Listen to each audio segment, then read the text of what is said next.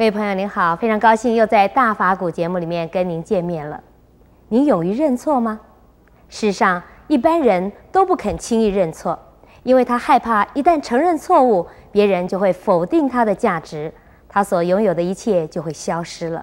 所以他宁可忽视良心的谴责，也不愿意承担犯错之后所应该负起的责任。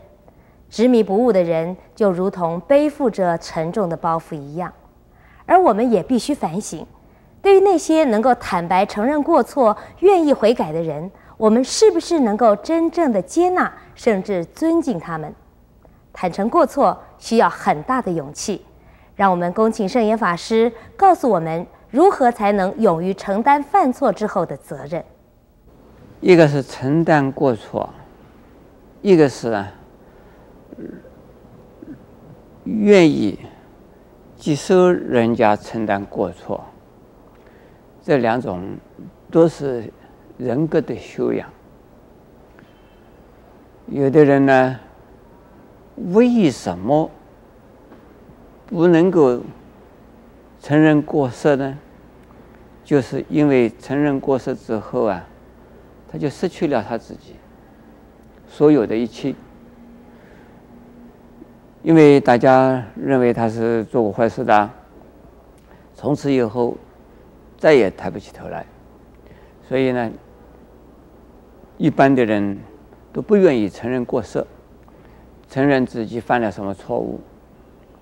不过呢，犯错有的应该承认，有的还就不能够承认有的呢，在某一些场合啊。可以承认，在某一些场合你还不能承认，这个是要讲究啊，艺术和技术要拿捏的很好，还是不容易的事情。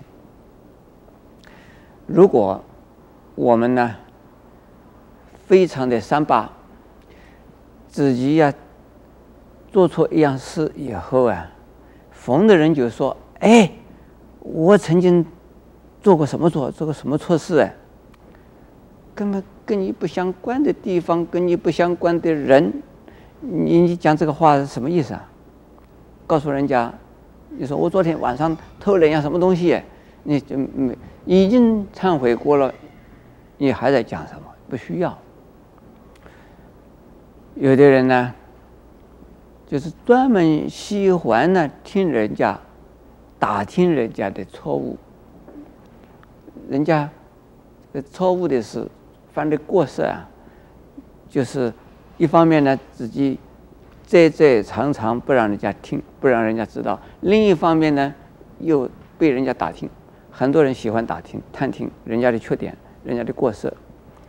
呃，还有呢，搬弄过失啊，这个很很舒服。讲讲某一个人，哇，这个人是怎么怎么，你不要以为什么了不起，那个人是怎么怎么，我知道怎么怎么怎么。像这种情形呢，就是使得我们大家都不愿意、不敢承认自己过失的原因。大家希望人家承认过失，也希望自己承认过失，但承认过失之后的后果啊，实在是非常的严重，因此宁可以不要承认过失，而不愿意承、不愿意面对呀自己的过失。像这种。呃，这是我们大家、我们的社会共同所造成的。呃，但是呢，我在西方啊，在美国，他主张啊诚实，不欺骗，要是诚实不欺，人一定要诚实。比如说，我们过关的时候啊，过海关，他说你有没有带什么这个肉啊？什么东西？呃，水果啊，有没有带？你说没有，他就相信你了，相信你没有带。但一旦查出来你是带了，但是呢，你说没有带，这个他的处罚就比较严重了。如果你说带了，他说拿出来，拿出来没收，如此而已。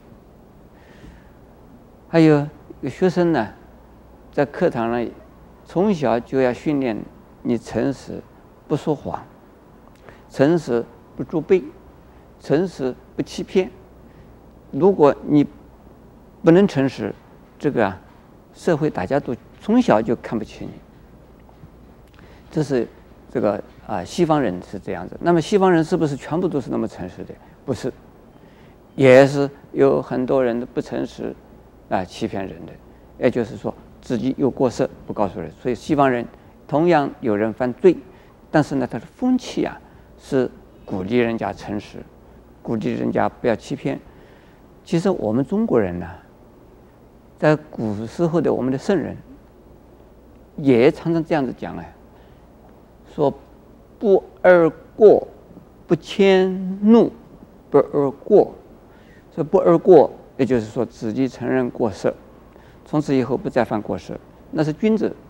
那普通的人呢，承认过失之后，还会可能犯过失，可是呢？承认过失以后，最好让人家知道是最好的。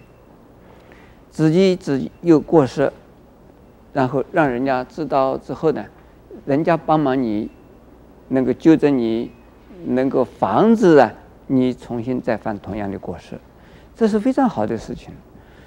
那问题是在于，说我们成人过失之后啊，可能就会从此啊再也抬不起头来，挺不起胸来。人家就说：“哎呀，你这个人是怎么怎么的？你这个人呢是怎么怎么的？”有人过去呢说我啊，说圣严法师是老兵，圣严法师是小兵。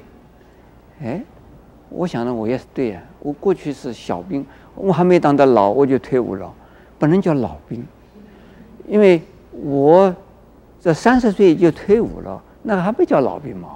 人家叫我老兵，我想我是当过兵，但是我不是，我我当兵好像没有抢人家，也没有偷人家，这也没有什么嘛。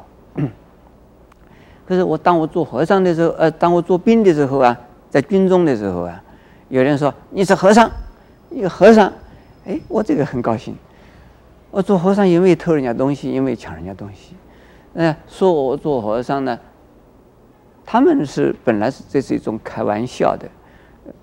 那么人自己是错了的，能够勇于认错啊，这是好处太多了。第一个，心中没有压力；第二个，人家可以帮我们的忙；第三个，我就可以抬头挺胸。为什么？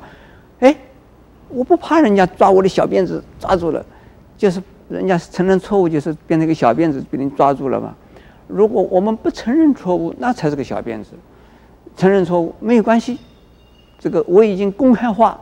我根本这个事实就是事实，但是我现在没有了，所以我们一定是让人家会尊重的，会尊敬的，所以，呃，我们大家不需要隐瞒自己的错误，但是呢，也不需要见人就说自己怎么错怎么错怎么错，用不到。